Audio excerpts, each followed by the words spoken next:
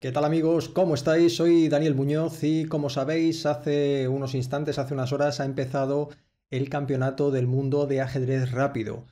Un campeonato del mundo que cuenta con sustanciosos premios. El ganador se va a llevar nada más y nada menos que 60.000 dólares.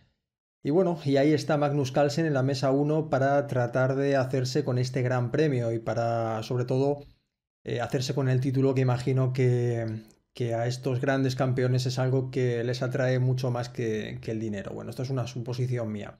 La, en esta primera ronda jugaba eh, Magnus Carlsen contra el gran maestro ruso Boris Savchenko. Y eh, me ha gustado mucho este final, cómo ha apretado Magnus Carlsen este final. No es una partida, digamos, espectacular. Ahora veremos cómo ha sido el origen. Pero sobre todo vamos a eh, dedicarle un tiempo a analizar el final y de qué manera Magnus ha ido agotando todas las posibilidades de la posición, ha ido encontrando y provocando todas las sutilezas posibles hasta provocar el error definitivo de su rival como viene siendo, de como viene siendo costumbre por parte del campeón del mundo. La partida, bueno, vamos a pasarla muy muy rápido, simplemente para que veas de dónde viene ese final. Ha sido una posición que recuerda mucho, Magnus Carlsen jugaba con blancas, Boris Savchenko con negras. Hemos llegado a una posición que recuerda mucho al gambito Volga, en el cual, bueno, el blanco ha conseguido un peón de más, el peón que acabamos de ver, el peón de B7, pero como contrapartida el negro obtiene una gran diagonal y una gran presión también en la columna A y en la columna B. En muchas ocasiones este tipo de posiciones en el gambito Volga pues acaba, mm, em, acaba compensándose por, por el peón y, em, y, es relativamente sencillo capturar uno de los dos peones a Obek, tal y como ha sucedido en esta partida. Bueno, vamos a ver cómo siguió. Ahora ya vemos que em, Magnus Carlsen tiene 5 peones contra 4 del negro, pero ya digo, tiene peor desarrollo, tiene un poquito peor actividad de las eh, de las piezas y parece que hay suficiente compensación. Bueno, la partida la voy pasando simplemente rápido para que veáis de dónde viene este final. El negro yo creo que jugó bueno bastante bien, siguiendo pues todos los cánones, colocando sus piezas en las columnas abiertas, presionando sobre todo sobre el peón más vulnerable, el peón de B, que además también puede ser presionado como decía antes por el alfil de G7 y bueno, la partida fue evolucionando hasta este final, en el cual finalmente ahora eh, Boris Savchenko se hace con el peón de B2, se llega al equilibrio de material, pero eh, bueno, las, blancas han conseguido su caballo, digo que han conseguido su caballo porque en este tipo de posición en el cual el juego se va a desplazar a un único centro suele ser, suele ser mejor pieza menor un caballo que un alfil, porque ahora, bueno, este alfil en realidad está apuntando a la nada, ya se ha acabado la partida en este sector del tablero y el caballo parece una pieza mejor. Bueno, el juego siguió avanzando, vamos a, avanzando la rapidito, y ahora sí que nos vamos a detener a analizar este final que Magnus Carlsen lo ha jugado con una gran frialdad, aunque sí que es verdad que en los últimos minutos le he visto suspirando, suspirando un poco, ¿vale? Bueno, en este momento juega el negro y toma la decisión de capturar el, caballo. Ahora mismo el blanco está amenazando caballo de 5, es una jugada muy peligrosa en la cual atacaría todas las piezas del negro. Y bueno, hay que tomar una decisión. La única decisión factible es alfil por F4, G por F4 y hemos llegado al final. Bueno, en realidad este es un final que si jugásemos absolutamente preciso sería tablas. Si se lo ponemos al ordenador sería de tablas, pero Magnus Carlsen, por eso me ha gustado mucho esta partida, como viene siendo habitual en él, agota todas las posibilidades y les va dando ese masajito a sus rivales hasta que les provoca el error definitivo. Es una posición que debería ser tablas, aunque a mí personalmente me gusta más para las blancas, sobre todo por el peón de A6, este peón pasado que va a obligar al negro a tener un quebradero de cabeza importante y tratar de jugar simultáneamente en dos, en dos flancos y con muy poco tiempo, como sucedía en esta partida. Bueno, ahora el negro jugó rey b6, torre a3, rey a7, el peón ha quedado controlado, además ahora el negro con relativa facilidad va a poder comernos el peón de, de a6 y por lo tanto ahora Magnus necesita encontrar algo más, no puede jugar de manera pasiva, tiene que buscar algo, tiene que tratar de eh, ofrecer un señuelo a su oponente. Y aquí llega la primera jugada que a mí me gustó, H5. Muy buena jugada. H5 parece que regala literalmente el peón, en realidad lo está regalando, pero en el caso de que el negro acepte este peón, lo que va a conseguir como contrapartida es dos peones débiles, un tercer peón, el de peón de h5 débiles, y sobre todo una ruta de acceso a estas debilidades.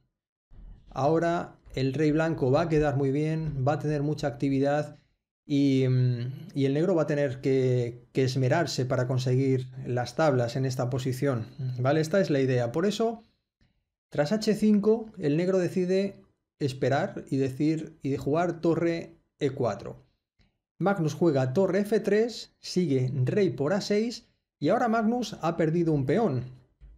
Pero ¿qué ha conseguido? Ha conseguido fundamentalmente situar al rey rival muy lejos de donde se está jugando la partida y ahora de alguna manera podemos decir que el rey blanco tiene un rey de más. Ahora este rey sí que desarrolla una actividad activa, una actividad protagonista en el flanco de rey, mientras que al rey negro todavía le faltan muchas jugadas. Y de hecho vamos a ver que en esta partida el rey nunca va a llegar a, a, enfrentarse como debería haberlo hecho contra el rey blanco.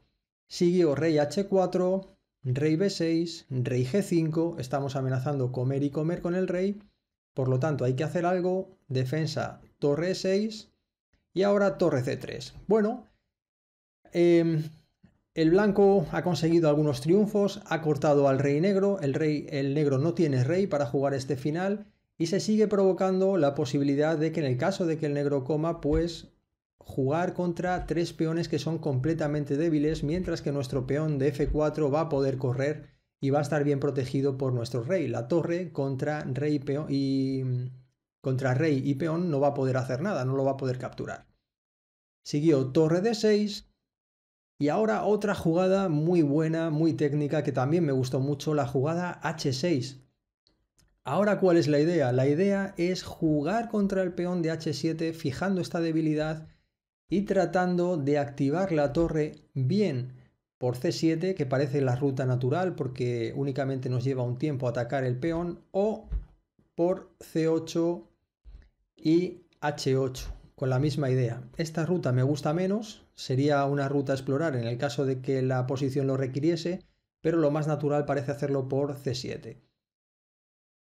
El negro propone el cambio de torres, lógicamente no nos interesa este cambio de torres porque vamos a facilitar la defensa a nuestro oponente. Ahora, aunque vengamos a por el peón de H7, no vamos a poder llegar porque siempre habrá una posición aquí de tablas en la cual, pues bueno, será tablas por, por repetición, el peón tampoco podrá avanzar. Así que em, posición, posición de tablas no nos interesa este torre por C6. Por eso Magnus hace torre, E4, torre E3 y viene a por el peón de H7. ¿Cómo jugó su rival? Torre C4, torre E7, torre C7 defendiéndose, torre G7 renovando la amenaza y la presión sobre el peón. Ahora el negro tiene que jugar de manera muy precisa. Rey C6, bien, correcto. El rey empieza a entrar, rey F6, torre D7, también bien jugado. Ahora no es posible comer porque volveríamos a la variante en la que era tablas con el rey en H7 rey e6, más presión y ahora única jugada que permitía salvar la partida, muy muy difícil de ver, torre de 6, luego veremos esta jugada. Y aquí el negro hace torre de 4 y definitivamente pierde. Y esta es una de las características de juego de Magnus Carlsen, tratar de provocar una y otra vez eh, la jugada que acaba desechando toda la partida de su rival, esa jugada, ese error definitivo en posiciones de apremiantes. En este caso, una posición muy apremiante, tanto psicológicamente por la situación del rey como por, por el tiempo. Única jugada, como digo, torre de 6 aquí, ahora veremos por qué, aunque muy difícil de ver. Siguió torre de 4, torre por h7, torre por f4, torre h8. Ahora el plan es muy sencillo, es jugar h7, h8, pegar un jaque con la torre y coronar. Por lo tanto, la torre del negro se tiene que colocar detrás del peón. H7, rey B7, rey F6. Ahora sí que ya la ventaja es totalmente decisiva. Siguió F4, rey por G4, torre G4, un jaque a la desesperada, rey H5. Ahora la torre no puede venir a defender la, la coronación del peón. Trata de jugar torre G1, pero tras torre F8 pues nada, fin de la partida, no se podrá detener la coronación, no sirve de nada este jaque, torre H1, porque seguirá rey G6 y no hay, no hay nada, no hay forma. Si se pega otro jaque, pues el rey vendrá em, delante o detrás del peón y no hay más jaques y no hay forma de defenderse por lo tanto la partida se acaba. Em, vamos a volver hacia atrás. Os decía que tras rey E6, única jugada aquí para salvar la partida, muy muy difícil de ver, torre de 6. ¿Por qué? Porque torre de 6 en realidad es una jugada muy poco humana, muy poco natural, ya que mm, da completamente o entrega completamente una ruta de acceso al rey. Ahí está el peón de h7 y parece que, bueno, que la partida va a perderse. Pero lo que sucede es que tras torre de 6, rey f7 em, sigue, perdón, sigue rey de 5 Da igual que nos coman el peón de h7 porque tenemos rey e4 y finalmente el rey se activa, que es el gran problema del negro en este final. Ahora, aunque el blanco juegue torre g7 con idea de coronar, existe una maniobra defensiva, como digo, muy difícil de ver y muy difícil de ver en tan poco tiempo, que es torre de 1. Y si el peón intenta coronar, torre h1. Y si el rey viene a defenderse eh, o a, mejor dicho, apoyar la coronación, lo que sucederá es que tras rey por f4 no servirá de nada coronar porque podremos comernos, podremos sacrificar nuestra, nuestra torre. Y ahora este rey es el que ha quedado alejado de los dos peones que corren. Y, la posición pues eh, será o una victoria del negro si el blanco no juega con cuidado o unas tablas.